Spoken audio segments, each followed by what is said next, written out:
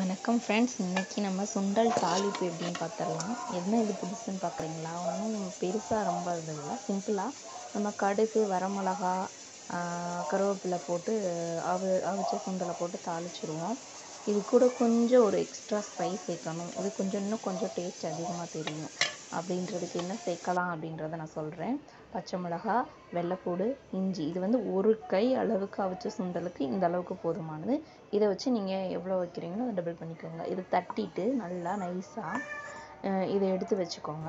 அது கூட தாளிக்கிறதுக்கு எப்பயும் போல் கடுகு கொஞ்சம் வெங்காயம். வெங்காயம் வேணும்னா போட்டுக்கோங்க எல்லாருமே தேவையில்லை. கருவேப்பிலை நான் கொஞ்சம் வெங்காயம் போடுறேன். போட்டுட்டு அது கூட நம்ம அந்த இடித்த மசாலா இருக்குது இல்லைங்களா அதையும் போட்டுக்கலாம். உங்களுக்கு இன்னும் கொஞ்சம் காரம் வேணும்னா காஞ்ச மிளகாய் சேர்த்துக்கலாம் இல்லாட்டினா தேவையில்லை. இந்த அளவு காரமே போதும். குழந்தைங்களுக்குன்னா இந்த அளவு காரமே போதும். ஒரே ஒரு பச்சை மிளகாய் மட்டும் சேர்த்துக்கோங்க. இஞ்சி காரம் அதெல்லாம் இருக்குது ஸோ போதுமானது.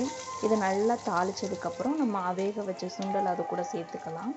சேர்த்துட்டு நல்லா ஒரு ஃபைவ் மினிட்ஸ் போல் வதக்கினா போதும். வதக்கிட்டு கொஞ்சம் தேவையான அளவு தேங்காய் பூ போட்டு நீங்கள் வதக்கி எடுத்துகிட்டு குழந்தைங்களுக்கு கொடுத்தீங்கன்னா சூப்பராக சாப்பிடுவாங்க.